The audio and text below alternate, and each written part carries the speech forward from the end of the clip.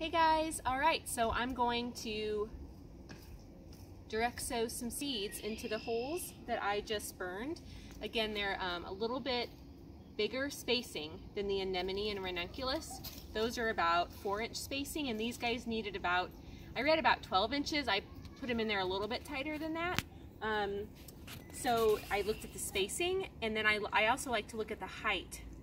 So this garden bed, I kind of want the tallest at the back and the shortest at the front. So that's why I'm gonna go with the Ammi green mist back here. And in the middle, I'll do some dill. And then towards the front, we'll do the Bupleurum. Um, I'm holding a butter knife because when I'm working with really small things, um, I know there's a lot of garden tools out there, but I saw someone else do this and I really love just, you know, if you just have to move the dirt just a little bit, um, butter knife does the trick. All right, so this is the Ammi, and if you want to come in here and see how tiny these seeds are, super tiny. So, just gonna try to be careful of the wind here. So I've got, I'll probably do, yeah, I think 12 of each kind. So Timmy, if you wanna get right down here where I'm gonna plant first. So this is one of my holes. I'm just gonna move a little bit. They're so tiny. I mean, you don't need to go deep at all. And I'll just put a few in there and then cover it back up. And it is really, really that easy. All right, and then we'll go to this next one. And just cover it up. Um, when I started planting, I used or tried to use garden gloves. I just think you cannot manipulate things very well with garden gloves on. So now I just wear my dirty hands and fingernails like a badge of honor. And it just is what it is.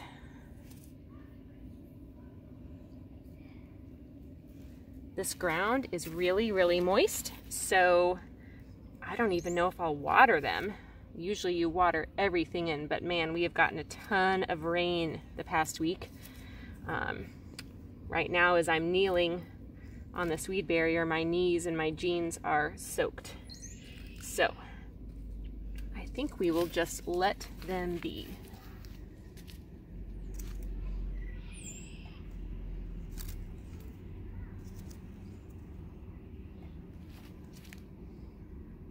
Almost done with the Ammi. Cannot wait to see these guys in all their glory. Just put all that in there. They're so tiny. Okay, so that's all for the Ammi Green Mist. And now we're going to move on to dill. Ver Vierling? I don't really know. It's supposed to be green, ferny. Oh man, these are much bigger. Look at those. So we'll go just a tad deeper. I heard that a good rule of thumb is to just plant seeds about double their size. Um, so that's what I do. Sometimes I get it wrong and there's something particular, but usually does just fine. I always put two or three in each hole because not all seeds will germinate. And it's better to thin them out than to have empty holes.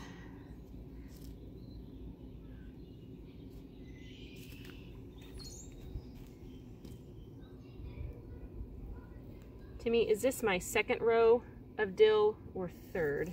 This is your second. Okay, thanks. Mm -hmm. Everything looks the same after a while. So today is March 20th, which means we will have quite a few more frosts. But these three plants specifically on the back of the envelopes, those that have instructions, it says you can that the preferred way to sow them is outside two to four weeks before your last frost, which means the frost is not going to kill them. So that's really, really exciting. We don't have to worry about that. Okay, dill is in there. Last 12 holes will be Bupleurum. Yeah, and you know, a lot of people ask about how you know when to plant. It's really just like directions on a recipe. Um, when to sow outside, that was recommended two to four weeks before your average last frost date. So let's get these guys into the ground. Okay, they're a decent size as well. So that's the Bupleurum. I sure hope I'm saying that right. Tim and I were on a date not too long ago in St. Louis, and I love going to Trader Joe's whenever we're over there. So I was getting some fresh flowers because I always have them, and I got some beautiful greenery.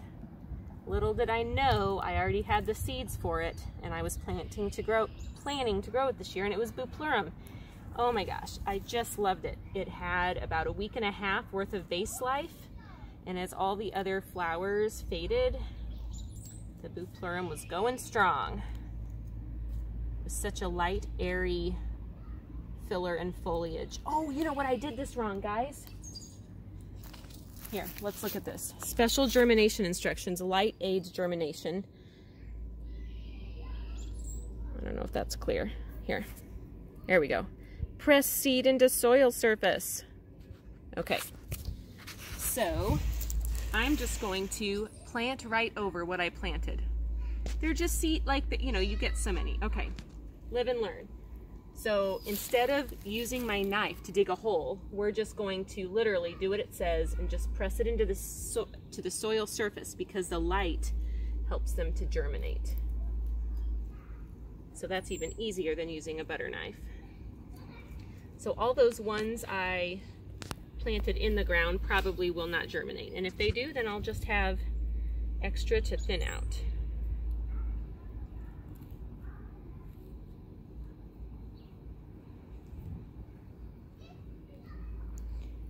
Can you explain to us exactly what thinning is? Thinning is when you have a few plants right next to each other, little seedlings coming up, and you decide that they're not going to make it, so you have to just cut at the soil level the ones that look not as strong.